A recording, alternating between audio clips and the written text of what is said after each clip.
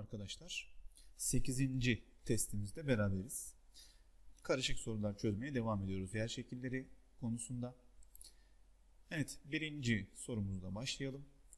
X'te verilen kısım Horst ve Graben dediğimiz kırıklı alanlarda oluşmuş alan ya da arazileri dikkate aldığımız bir şekil gösterilmiş ki yüksekte kalan kısım Horst, alçakta kalan kısım Graben alanını oluşturuyor. Hatta bazı arkadaşlar özellikle aşağıda bulunanlar gariban şeklinde kodluyor. Yani Graben'in altta olduğunu unutmamak adına öyle bir kodlama yapabilirsiniz. Diğerinde ise Y'de belirtilen ise antiklinal, senklinal dediğimiz kıvrımlanma sonucu oluşmuş dağlardır. Şimdi burada birincisi kırıklı dağlar dediğimiz için yine biz bunları biliyoruz. İşte daha önceki e, testlerimizde de çok sık görmüştük. Kaz, Madra, Yunt, Bozdağlar, Aydın, Menteşe, Nur ya da Monos dağları. Bunun yanında volkanik dağları ezberleyelim. Kırıklı dağlardan başka.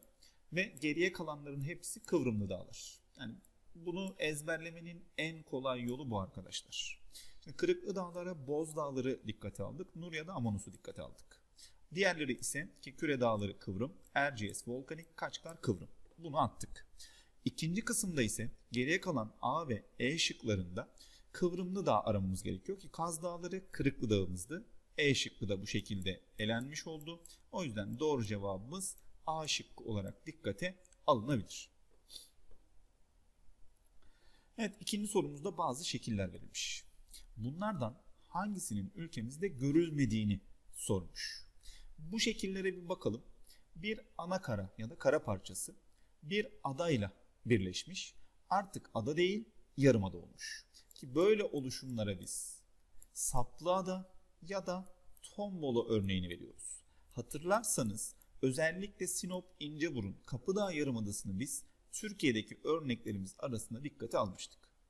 Diğerinde ise bir akarsuyumuz gelmiş ve denizin içerisine bir biriktirme yapmış, alüvyonları biriktirmiş. Bu oluşumlara biz delta adını veriyoruz. Türkiye'de Ege başta olmak üzere birçok deltanın varlığını görebiliyoruz. Diğerinde ise üst kısımda daha sert olan bazalt, alt kısımda ise tüf dediğimiz oluşumlar dikkate alınmış. E buna bağlı olarak da peri bacalarını yine Türkiye'de görüyoruz. Nevşehir başta olmak üzere. 4 numarada ise deniz akarsu vadilerini dolduruyor. Tabi bu kısımda okyanus ya da bir kıyı deniz olduğunu dikkate almış olalım. Kıyı deniz ya da okyanus kıyılarında özellikle akarsu vadilerinin işgali sonucu Haliç kıyı tipi oluşur. Haliç kıyı tipini dikkate alırsak Türkiye'de görülmüyor.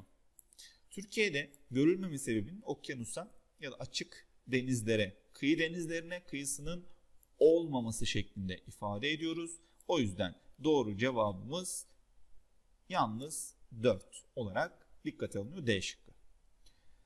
Evet üçüncü sorumuzda Türkiye'deki platoların özellikle baktığımızda e, yükselti özellikleri dikkate alındığında farklı yükseltilere sahipler. Buna bağlı olarak da baktığımızda farklı bir özelliğe sahip olduğunu söylemiş. Şimdi burada e, Yazılı Kaya, özellikle Eskişehir, Kütahya gibi illeri kapsıyor. Cihanbeyli, Konya kısmında değerlendiriyoruz. Bozok, Yozgat, Obruk, özellikle Tuz Gölü'nün güneyinde Aksaray, e, yine belli bir kısmında Konya gibi iller e, değerlendirilebilir. Bunların ortalama yükseltileri birbirine benzer. İç Anadolu kısmında daha çok oraya sınırları var. Ama Erzurum, Kars dediğimizde daha yüksek bir plato özelliği gösteriyor. Diğerlerine göre daha yüksekte. Yükseltisine göre e, ayrılabilir. D şıkkı doğru cevabımız. Evet dördüncü soruda erozyon ki e, dış kuvvetler tarafından toprağın üst kısmının e, süpürülerek başka bir yere taşınıp biriktirilmesi. Bu faktörler tarımsal üretim ve verimin azalması neden olur. Özellikle erozyon, e, yükselti, ona bağlı sıcaklığın düşmesi, kuraklık olumsuz etkiliyor özellikle tarımı. Buna göre tarımı olumsuz etkileyen erozyon, yükselti, kuraklık hangilerinde en fazla etkiye sahip? Şimdi erozyon deyince İç Anadolu, Güneydoğu Anadolu gibi alanları alabiliyorduk. Yükselti deyince ilk başta zaten Doğu Anadolu'yu alıyoruz. Kuraklık deyince ki Türkiye'de kuraklık şiddetinin en fazla olduğu bölgemiz Güney Doğu Anadolu. O yüzden doğru cevabımız C şıkkıdır. Evet 5. sorumuzda Türkiye'deki platoların bazıları verilmiş. Buna göre hangisi yanlıştır şeklinde bir soru sorulmuş.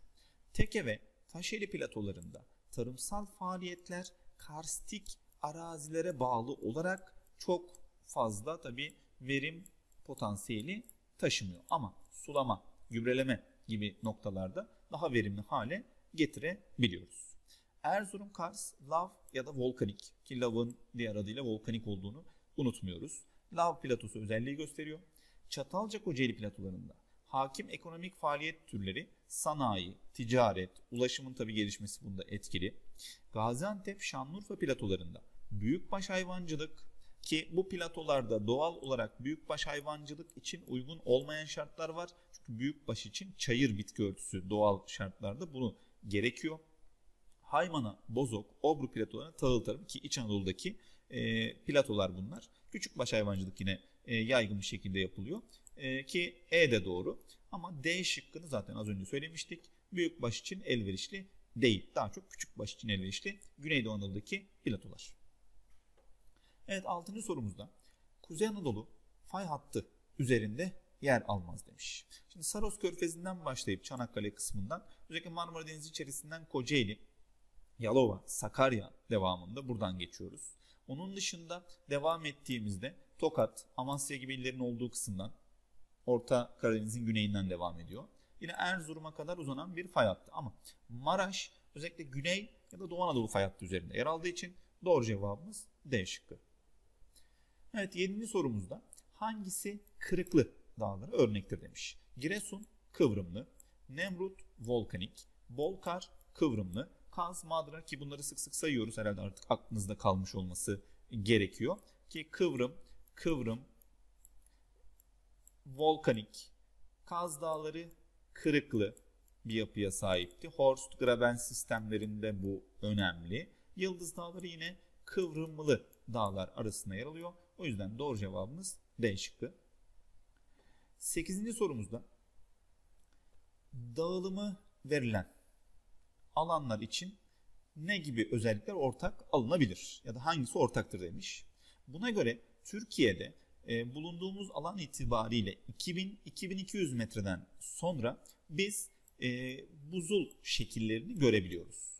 2000-2200 metre üzerinde biz buzul şekillerine rastlayabiliyoruz. Ki bu alanlarda 2200 metre üzerindeki alanlar olduğu için özellikle buzullaşmaya uğramış ve buzul şekillerinin görüldüğü alanları gösteriyor. O yüzden doğru cevabımız D şıkkı ki doğuya doğru bunlarda bir artış söz konusu. Her bölgede biz buzul şekillerini göremiyoruz. Mesela Güneydoğu Anadolu e, burada dışarıda tuttuğumuz alanlardan birisi. E, Karadeniz'de özellikle doğusuna doğru yoğunluk gösteriyor. Doğu Anadolu'da zaten birçok dağımızda ki Hakkari, Cilo kısmı da burada alınabilir. Bu alanlar buzullaşmaya uğrayan sahalar.